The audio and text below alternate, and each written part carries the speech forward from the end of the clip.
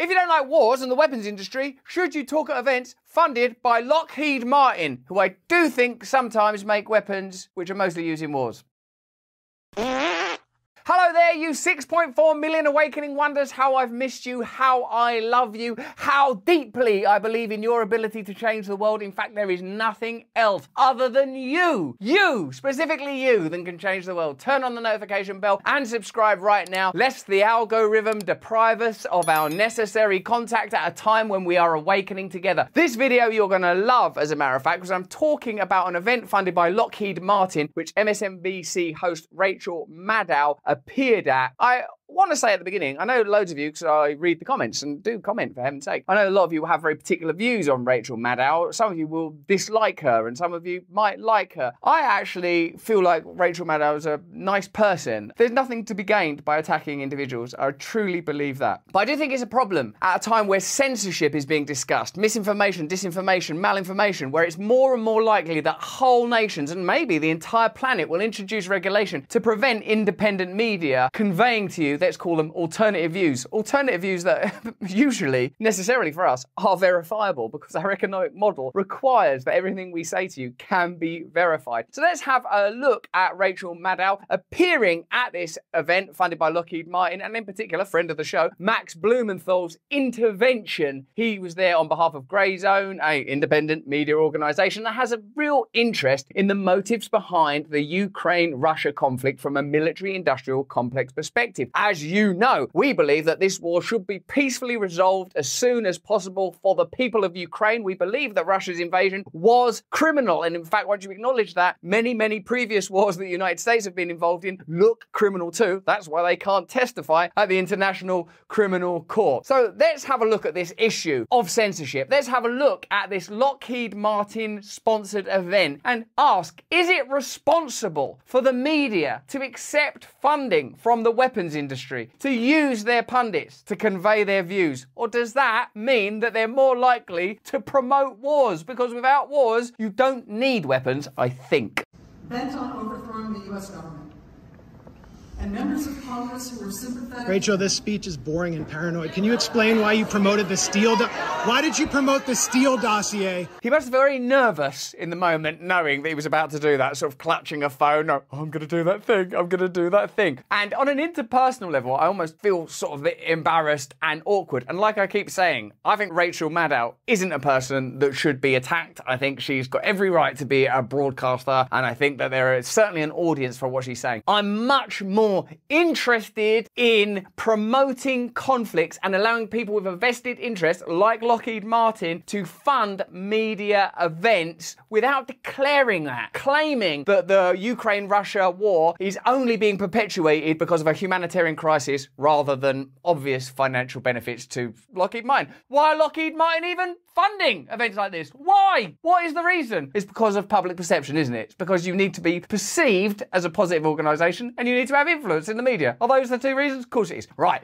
Why do you need that? Because we require war and dead children as part of our business model and it makes us look bad. Cool. Right, now we can move on to Rachel Maddow's participation in this event. Is it good? Let me know in the comments. Why did you promote the Steele dossier, which has been proven to be a lie? Why did you promote the lie of no. Russian bounties? Come on, let's go. Can you let's ever go. be held accountable for the lies you told Americans? It's very interesting, really, because what Max Blumenthal and the Grayzone believe is that their views are not being properly represented. That whenever you call out Russiagate, you're regarded as a conspiracy theorist or right wing. And I recognise some of you are right wing and some of you are conspiracy theorists, damn it. But what's not a conspiracy anymore is that Russiagate was used to attack Trump throughout his presidency, and it proved not to be true. And and it was at least in part funded by the Clinton campaign, which doesn't look good if you think that the Democrat Party are the goodies. And then what also doesn't look good is that Lockheed Martin, who make missiles and stuff that kill people, are funding events like this. I mean, it just simply has to be discussed and pointed out, doesn't it? Now, you might say, oh, we're on Rumble and who's invested in Rumble and stuff like that. But essentially, they're allowing us to say whatever we want to say. And here's what I want to say war is bad. We shouldn't have many wars. We should have unbiased media. You should allow people you disagree with to speak openly and you should have clear conversations about important issues where you listen to views from across the spectrum. I don't know. Is that going to be censored? Is anyone going to cut that out?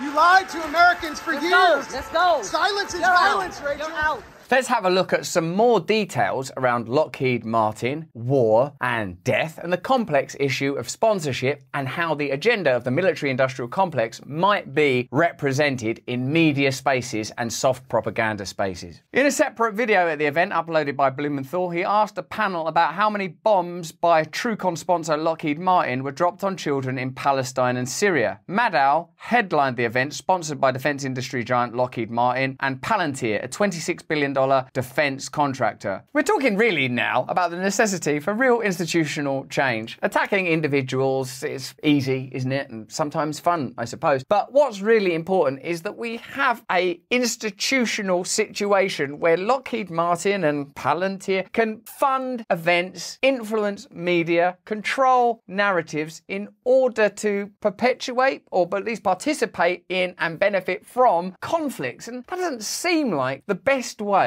to run the planet in 2023, even if you just treat it as a national issue affecting you, American taxpayers, because a lot of this money is yours. Now, this is embarrassing because this video is actually sponsored by Lockheed Martin.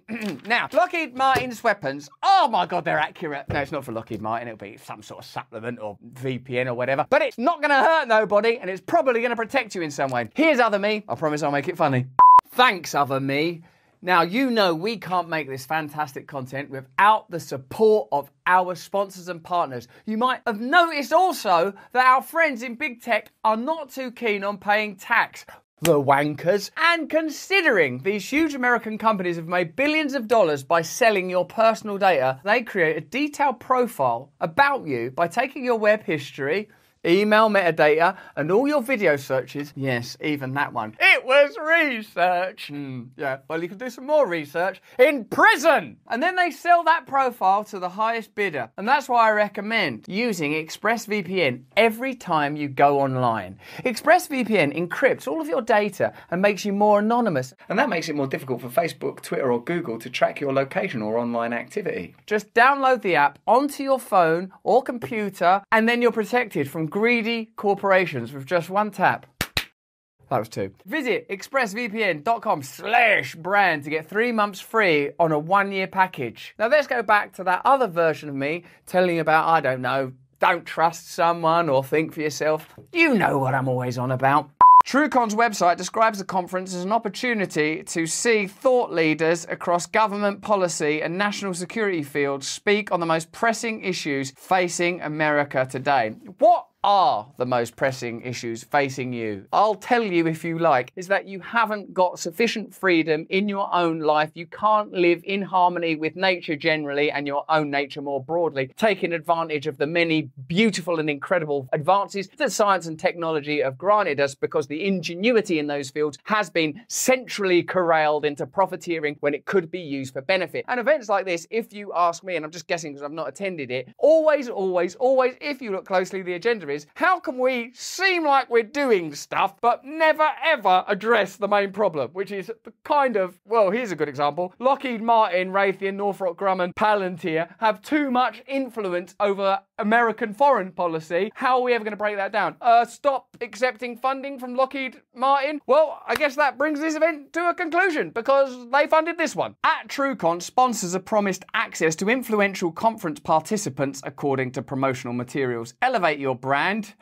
How much higher do they need to get? They can launch a missile through the sky and kill a kiddie thousands of miles away. Elevate your brand, connect with your customers, feed your employee pipeline, or, if necessary, blow up your enemy's pipelines. Right, kids? In meaningful, exciting ways. I like the way we're doing this. Not only is it full of meaning, it's exciting. Are you talking about sex? Reads a Truman brochure marketing sponsorship opportunities for the event. The brochure repeatedly references the advantages of aligning the company's brand with the Truman Center and TrueCon. For Palantir and Lockheed, which are listed as the two top sponsors on the event website, that means enjoying high level recognition in association with prominent progressive and other Democratic Party aligned figures. So, presumably, that's the reason why Lockheed Martin paid the money to sponsor the event. Now, when the other participants, including Rachel Maddow, but presumably other significant affiliates of that aspect of the limited spectrum of American political life, were participating, were they aware that part of what they're doing is putting their arm around Lockheed Martin and Palantir and saying, We enjoy an association with you as prominent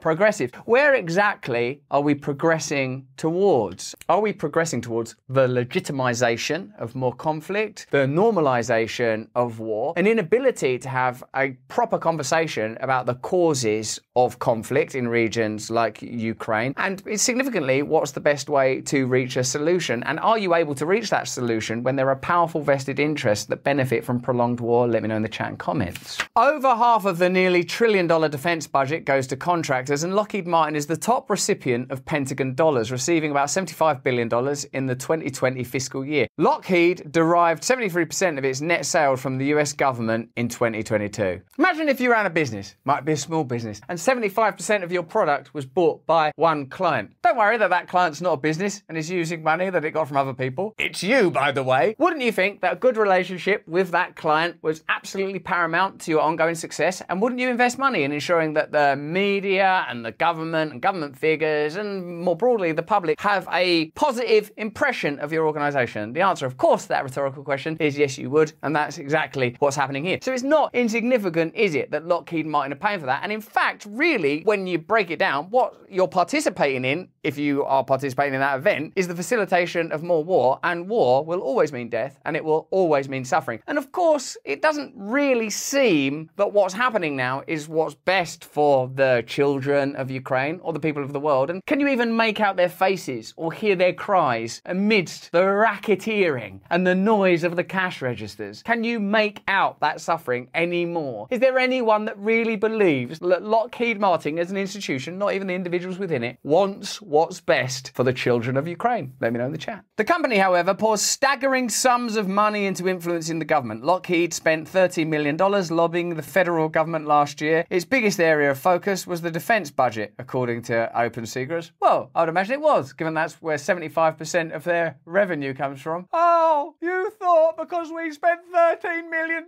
lobbying the government that the government and ourselves would come together to find narratives that legitimize an ongoing conflict that seems like we're doing it for the right reason? That $13 million was a surprise for your birthday. And you've the drinks over there. In March 2011, Maddow told her MSNBC viewers defense spending is untouchable because civilian lawmakers defer so deeply to the military and to the former military officers laced throughout the contractor world that if you squint, you would swear that Congress is some lackey puppet parliament in a country where government has taken over by a junta. The Rachel Maddow that said that, surely as she squinted down at Max Blumenthal's press badge, must have felt some echo from the past as the jeers and cheers of the Democrat Party, who presumably would have agreed with Rachel Maddow in 2011. Surely somewhere is the remnants, the phantom, the ghost of the sentiment of 2011. Hmm, am I just providing a smokescreen while members of the Democrat Party and officials from Lockheed Martin get together to kill children? MSNBC is owned by Comcast, which is a subsidiary of General Electric, the 14th largest defense contractor in the US. So, in a way, just on the basis of competition, they shouldn't be letting Palantir and Lockheed Martin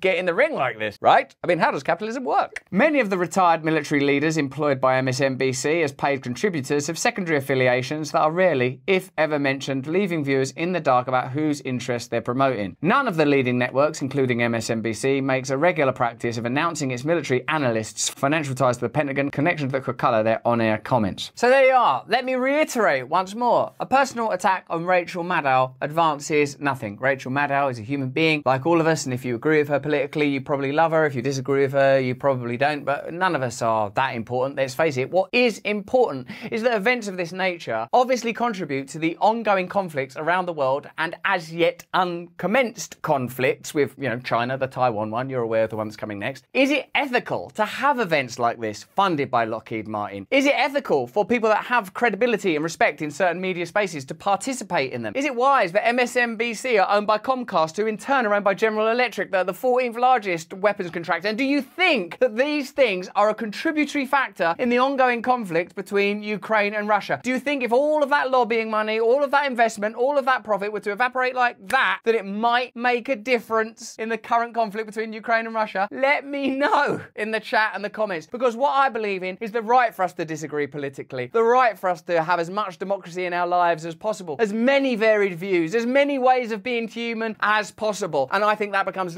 less and less likely when powerful agencies and institutions come together to bypass democracy, particularly when it's at the cost of human life. But that's just what I think. Let me know what you think in the comments and chat. If you enjoyed this video, have a look at either of these. Remember, turn on the notification bell and subscribe right now. We make this content every single day. Join us over on Rumble. We have so much fun over there. You, whoever you are, wherever you've been, you are welcome there. We love you. More important than any of that, please stay free.